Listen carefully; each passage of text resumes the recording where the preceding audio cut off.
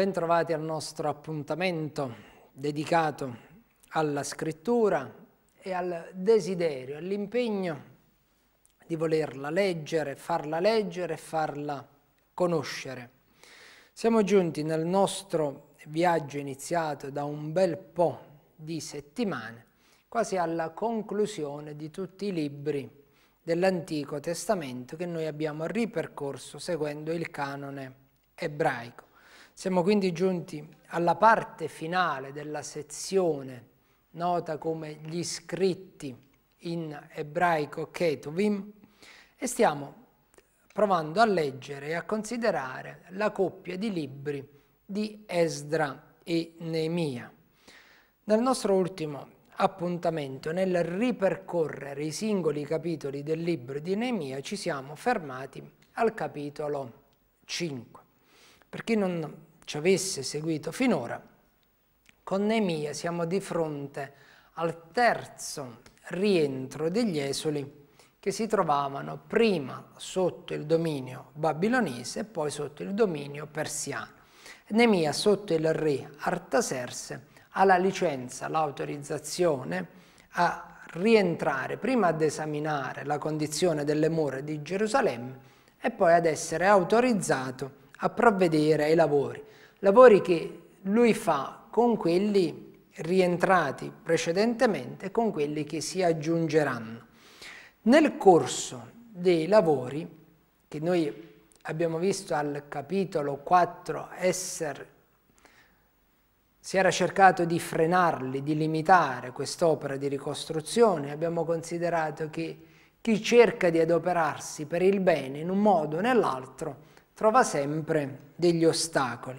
Il libro di Nemia al capitolo 5 ci mette di fronte una situazione che non ha a che fare con gli ostacoli provenienti dall'esterno, dai samaritani e da quelli che sono contrari alla ricostruzione di Gerusalemme, ma con dei problemi interni alla comunità giudaica. Che cosa era accaduto? Che quelli che erano rimasti a Gerusalemme non erano riusciti a prosperare, così come erano prosperati parecchi di quelli finiti in terra di esilio, di deportazione, si erano dovuti in un certo senso indebitare, avevano dovuto vendere le loro proprietà e il capitolo 5 dice che addirittura sono arrivati a dare i loro figli come servi, come schiavi. La cosa triste di cui informa questo capitolo è che la gran parte dei loro debiti non era nei confronti soltanto del re Artaserse o chi per esso, ai quali versavano una forma di tassazione di contributi in quante persone suddite soggiocate, ma si erano indebitati nei confronti di altri giudei che avevano comprato le loro proprietà e che stavano prestando ad essi i soldi con usura. Nemia si fa portavoce di questo lamento, convoca le persone responsabili della città e chiede un'azione di cambiamento. Questo capitolo 5, così come in Esdra ci eravamo trovati di fronte ai matrimoni cosiddetti misti, ossia con le persone non appartenenti al popolo, questa situazione, per il fatto che la troviamo nel bel mezzo della ricostruzione, viene presentata come un ostacolo al favore di Dio verso il suo popolo. Non è possibile che si toglie al proprio fratello, non è possibile che si presti ad usura quando la legge vietava e condannava questi comportamenti. Nemia rinuncia del suo.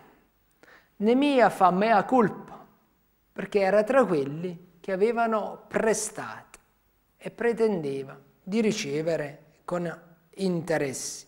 Lui dà l'esempio, così come si era impegnato in prima persona nella ricostruzione, nel sollevare questo bisogno, questa necessità dice io faccio del mio, io rinuncio a quello che devo avere, già non percepisco, non prendo il sussidio in quanto funzionario del governo, ma sono pronto e disponibile a rinunciare anche a questo.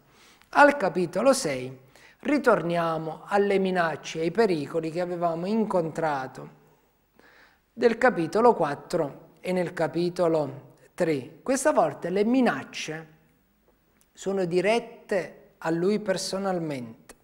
Nemia subisce degli attacchi personali e addirittura si cerca di realizzare un tranello per metterlo in difficoltà. Però Neemia in tutte le situazioni resta votato al Signore e tutte le sue espressioni testimoniano la fede di un uomo che non ha dimenticato che la mano di Dio è sulla sua vita.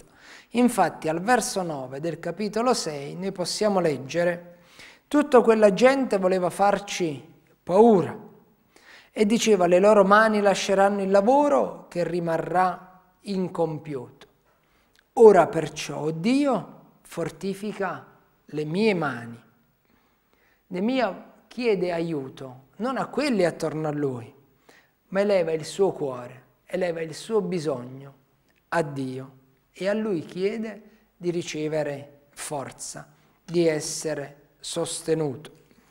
Al verso 16, scampato il pericolo, evitato che la sua vita potesse pagare dazio nel tentativo da parte di Tobia e Sambalat ma anche ancora della profetessa Noadia, perché questi che cosa avevano architettato? Addirittura una falsa profezia per frenare l'impegno di Neemia.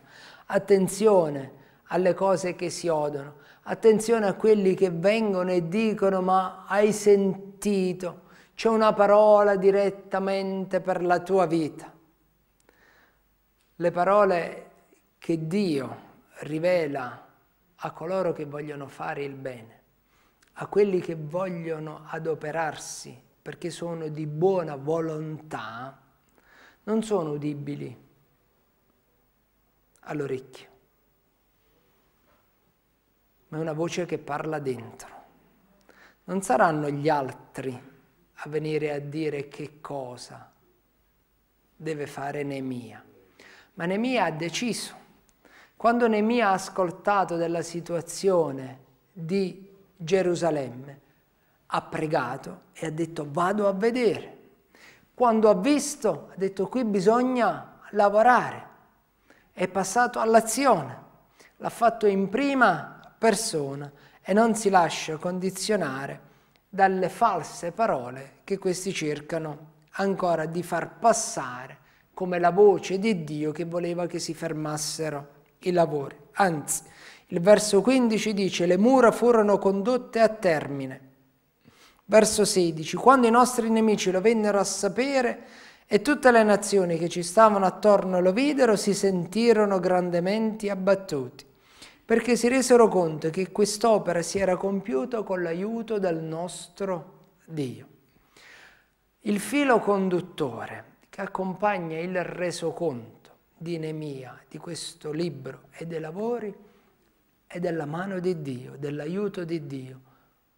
Perché se non c'è il suo aiuto, non basta l'impegno, non basta la buona volontà. Al capitolo 7 ci ritroviamo di fronte ad un elenco, perché terminate le operazioni di costruzione, così come leggevamo nei versi finali del capitolo 6, occorre adesso dedicarsi a quelli che sono gli abitanti. Ricordate, tempio costruito, ristabilite certe condizioni di vita sociale, ricostruita la città, c'era un qualcosa che non andava. Erano pochi gli abitanti di Gerusalemme rispetto a quelli che vivevano all'esterno. Sembra quasi che più di qualcuno avesse timore a vivere nelle mura della città. Allora occorre ripopolare, occorre proteggere la città per la quale si è lavorato. E il resto di Israele, così come dice il Salmo 122, deve ritrovarsi come città unita insieme. Il profeta Isaia aveva annunciato ed è un testo che si trova al capitolo 60 al verso 11, le porte saranno sempre aperte, giorno e notte, per accogliere le ricchezze dei popoli. Però dicevamo, la città è pronta, ma la gente è poca. Occorre che il Signore metta nel cuore a più di qualcuno di ritornare. Infatti, questi versi del capitolo 7, il 4 e il 5, ci fanno la descrizione. La città era spaziosa e grande, ma dentro vi era poca gente e non si costruivano case. Allora il mio Dio mi mise in cuore di radunare i notabili, magistrati, il popolo, per registrarli secondo le loro genealogie. Parte un'opera di censimento di quelli che sono all'interno della città. E ciò che Nemia compie viene poi ripreso successivamente al capitolo 11. Ma tra questo elenco di nominativi che confrontato con quello di Esdra ha delle differenze motivate in vario modo sulle quali non ci soffermiamo, viene censito il popolo è un popolo di una certa elevatura di persone, di diverse migliaia di, di persone, si ritrova unito sulla piazza. È da qui che comincia il capitolo 8. Tutto il popolo si radunò come un solo uomo sulla piazza che era davanti alla porta delle acque. Ed ecco qua che rincontriamo il personaggio del testo precedente. Esdra, che porta il libro della legge e lo legge in presenza di tutto il popolo. Tutti quelli che avevano capacità di intendere odono la lettura di questo testo. Che cosa accade? Che quelli che ascoltano, in maniera particolare quelli che hanno la facoltà di intendere, cominciano a riflettere sulla legge che stanno ascoltando, sulla legge che si era persa. Il fondamento di Gerusalemme adesso non è Nemia, non è Esdra, la città è stata ricostruita, il cuore, il polmone se preferite, ciò che deve mantenere viva la città non sono gli uomini, ma è la legge che per mezzo di Mosè era stata data a questo popolo. E quelli che odono la lettura della legge cominciano a risvegliarsi, cominciano a trovare desiderio, cominciano a trovare anche la gioia, perché poi questa lettura è accompagnata da una festa. Il verso 13 del capitolo 8 ci dice che c'è la celebrazione della festa delle capanne. La festa delle capanne era la festa per il raccolto autunnale e viene abbinata a questa lettura della legge che immediatamente provoca qualcosa di particolare. Che cosa provoca? Il verso 11 così recita, i leviti tenevano zitto tutto il popolo dicendo, tacete perché questo giorno è sacro, non rattristatevi. Allora tutto il popolo andò a mangiare e a bere, a mandar porzioni ai poveri e a festeggiare con grande esultanza perché avevano compreso le parole che erano state loro spiegate. La lettura della legge aveva dato gioia e questa gioia aveva dato la festa, quindi la letizia di partecipare alla festa delle capanne, quindi di mangiare e di bere, ma la festa diventa tale ed è veramente festa quando non è personale. Quelli che fanno festa portano delle loro porzioni, di ciò che loro mangiano, ai poveri. È questo che testimonia che Gerusalemme è rinata. Quando il povero non è dimenticato, quando il povero non è emarginato, quando quelli che hanno condividono con quelli che non hanno, allora vuol dire che la città, la società è viva, vede chi è nel bisogno, ascolta chi grida nel bisogno e non se ne sta da parte, indifferente, ma prende del suo e lo condivide con gli altri. Un paio di appuntamenti fa facevamo la riflessione di Neemia come politico, appunto nel capitolo 5, di quello che rinuncia del suo per quelli che non hanno. E quell'esempio forse è, stato, è stata la scintilla che provoca questo atteggiamento. Quelli che hanno, tutti quanti, al di là che si trattano di notabili, di magistrati, di persone importanti, il verso 12 leggevamo tutto il popolo andò a mangiare, a bere e a mandare porzioni ai poveri. Ci troviamo di fronte a una società che diventa improvvisamente da usuraia, da Caina diventano tutti degli Abele. E questo perché degli uomini, mossi dalla mano di Dio, si erano adoperati per il risveglio del popolo. Con la celebrazione della festa delle capanne, il capitolo 9 ci mette innanzi una liturgia penitenziale Sembra strano che mentre c'è un momento di gioia, un momento di festa, segua che cosa? Il ventiquattresimo giorno dello stesso mese, recita il primo verso del capitolo 9, i figli di Israele si radunarono per un digiuno, vestiti di sacco e coperti di terra. Quelli che appartenevano alla stirpe di Israele si separarono da tutti gli stranieri e si presentarono per confessare i loro peccati e le loro iniquità dei loro padri. Si ribadisce quella separazione richiesta già nel testo precedente da Esdra, quel separarsi dalle donne degli altri popoli. Sembra che nel momento della festa questo popolo prende considerazione che forse al cospetto della legge bisogna migliorare la propria vita bisogna adoperarsi per avere una vita che onori l'Iddio che si è impegnato a seguire. E quindi che cosa accade? Digiuno, preghiera, separazione dagli stranieri, quindi da ogni contatto con forme idolatriche. E poi c'è la confessione dei peccati, abbiamo letto. Confessione dei peccati proprio e dei peccati dei padri, ossia si riconoscono gli errori commessi dalle generazioni precedenti. E a questo che cosa segue? Verso 3.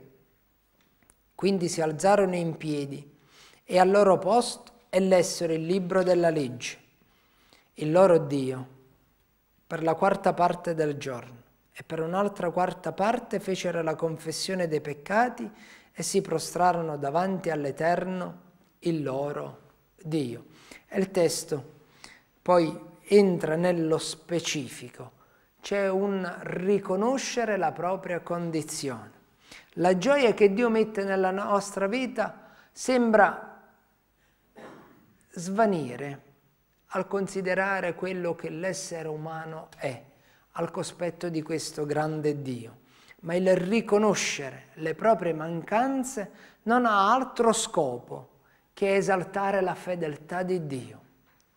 È un modo per riconoscere, siamo stati mancanti, siamo tuttora mancanti, eppure Dio è a nostro favore. Noi voltiamo le spalle, però Dio ci viene incontro. Noi seguiamo gli altri, ma Dio ci rincorre per averci dalla sua parte. E questa preghiera esposta nel capitolo 9 per quelli che a volte dicono io non ho tempo di pregare, forse la lettura di questo capitolo 9 riesce a fare due cose. Farvi leggere un testo della scrittura e farvi pregare contemporaneamente. Quindi riuscite in un, solo colpo a fare due cose assieme.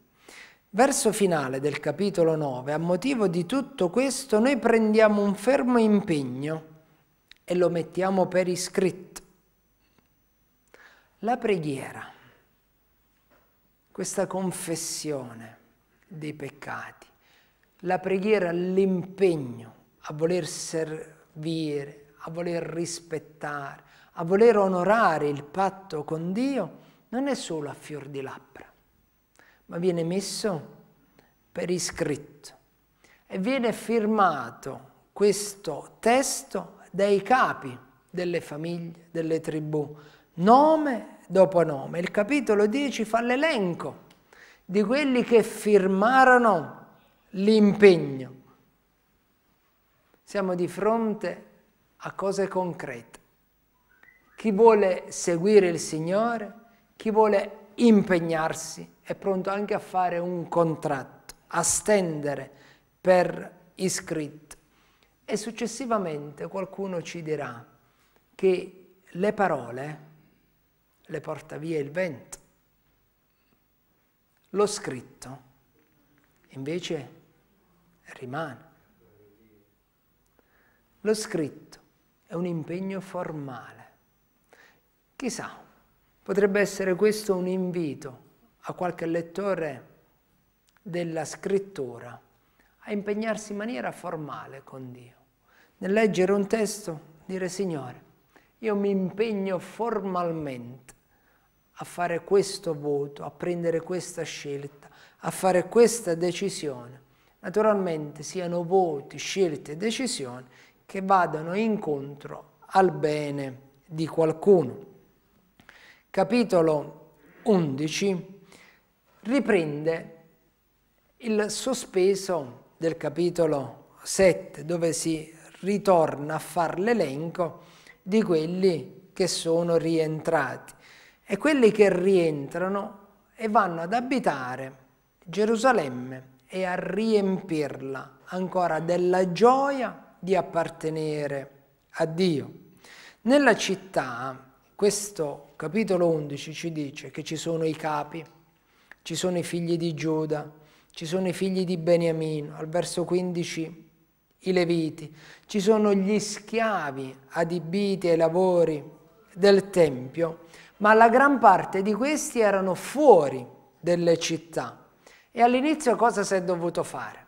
Si è dovuto tirare a sorte per convincerli a entrare nella città. Dopodiché si è fatto a gara per popolare la città. Il culmine del libro di Neemia, il culmine della nostra riflessione dedicata a questo libro, si ha al capitolo 12. Capitolo 12 che rappresenta la conclusione del binomio Esdra-Nemia, perché dopo la dedicazione del Tempio raccontata in Esdra al capitolo 6, si procede alla dedicazione delle mura di Gerusalemme. C'è stata già la festa, ma è al capitolo 12, al verso 27, che noi veniamo a sapere che c'è la dedicazione delle mura di Gerusalemme. E per questo evento si mandarono a cercare i Leviti da tutti i loro luoghi, per farli venire a Gerusalemme, per celebrare la dedicazione con allegrezza, con lodi, con canti, cembali, arpe eccetera. Tutto è pronto per la festa finale e la lettura rappresenta ancora l'apice di questo evento. Vorrei leggere con voi la sessione finale di questo brano, dal 27 al 43, dove noi abbiamo tutta ecco, la raccolta delle persone, al verso 40 assistiamo a due cori che si sono formati per la dedicazione. E questi cori si fermano nella casa di Dio. Così feci io con la metà dei magistrati che erano con me, i sacerdoti Eliachim, Maseria, Miniamin, Micaia, Elionai, Zaccaria, Anania con le trombe, Maseria, Shemaia, Eliazar, Uzzi, Jeoram, Malchia, Elam ed Ezer. I cantori cantarono a voce alta sotto la direzione di Esraia, In quel giorno offrirono grandi sacrifici e si rallegrarono perché Dio li aveva allietati con una grande gioia. Anche le donne e i fanciulli si rallegrarono e la gioia di Gerusalemme si udiva da lontano.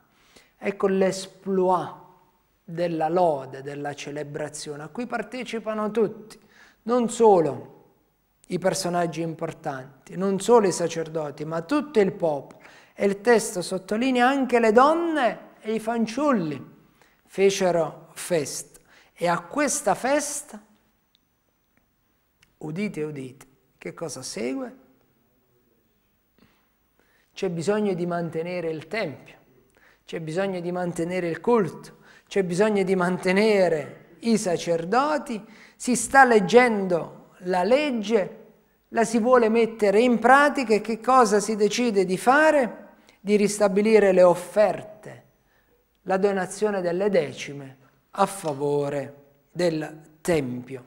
Ecco azioni concrete, non bello, bello, bello, canti, balli e poi dopo ognuno torna a casa propria, ma il popolo si assume degli impegni quello che abbiamo prodotto bisogna continuare a sostenere e a portarlo avanti.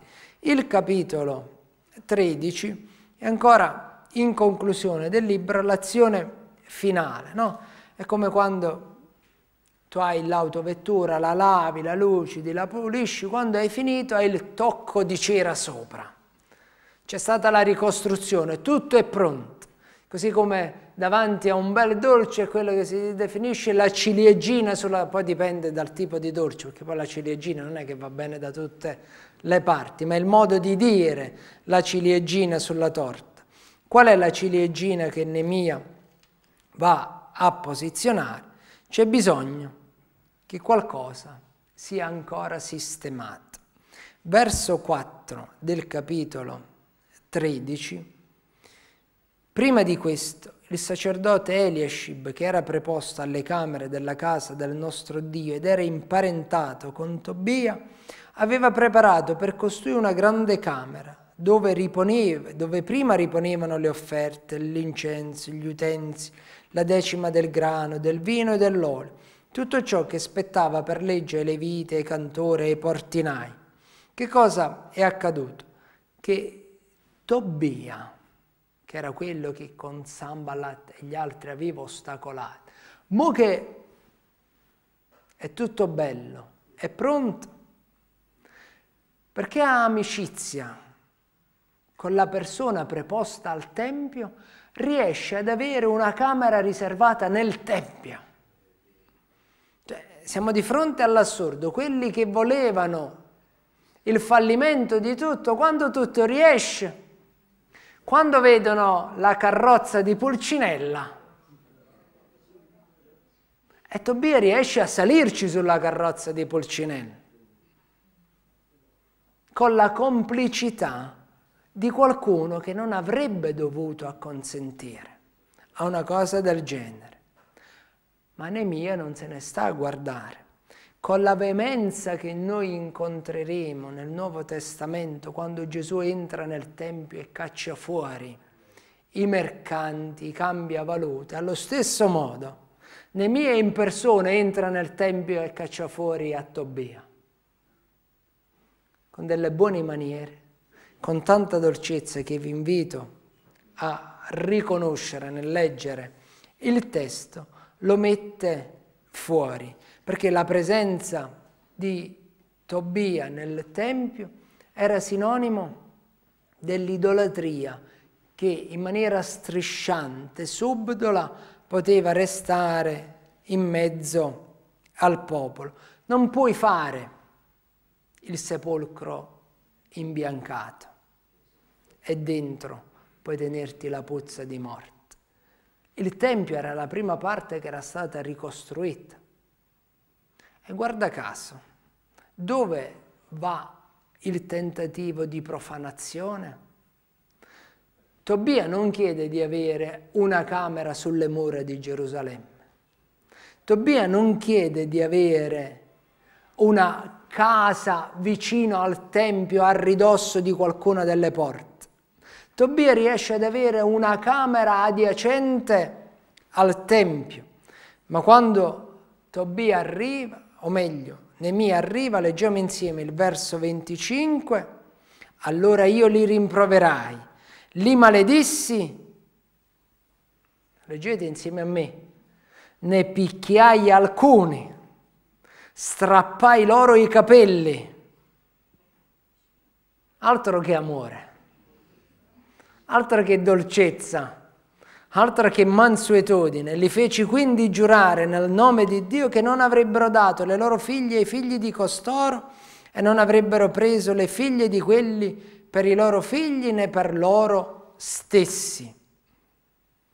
Nemia è animato da un tale zelo che non permetterà a niente e nessuno di rovinare quello che si era fatto per il bene del popolo e la sua azione, tutto quello che lui farà, ha un solo obiettivo. Verso 14 del capitolo 13, con il quale concludiamo il nostro cammino in questo libro, Nemia chiede a Dio, per questo ricordati di me, o Dio mio, e non cancellare le buone opere che ho fatto per la casa del mio Dio e per la sua custodia. Il desiderio di Neemia alla fine del lavoro è quello di essere ricordato non dalla gente. Ricordati di me quando sarai nel tuo regno. Chiese uno dei ladroni sulla croce al Cristo, al Messia. Chi ha contemplato la gloria dell'Eterno non cerca vanagloria in questa vita, cerca un ricordo nel cuore di Dio, perché sa che essere ricordati da Lui vuol dire sopravvivere e vivere in eterno. E Gesù dirà che quelli che hanno creduto in Lui, seppur morti, vivranno ancora. E Nemia non solo è stato ed è ricordato da Dio, ma per mezzo di questo testo è ricordato da tutti quanti noi e chissà da quanti altri ancora sarà ricordato dopo di noi. Io vi auguro che da lettori della Bibbia ciascuno di voi possa essere nei ricordi di Dio. Ma per essere nei ricordi di Dio bisogna passare dalle parole ai fatti. Mi raccomando, non picchiate nessuno, non tirate i capelli a nessuno, perché quello che ha fatto l'ha fatto dopo che ha chiesto di essere ricordato. Perché se facciamo prima queste cose si ricorderà di noi qualcun altro, qualche giudice terreno che ci manderà un poco al frisco. Ne vogliamo tenere le mani al posto loro e quando è necessario porgere l'altra guancia, ma vogliamo far sentire la nostra voce di fronte alle situazioni che cercano di corrompere il Tempio del Signore e quella che oggi è la sua Chiesa. Dio vi benedica.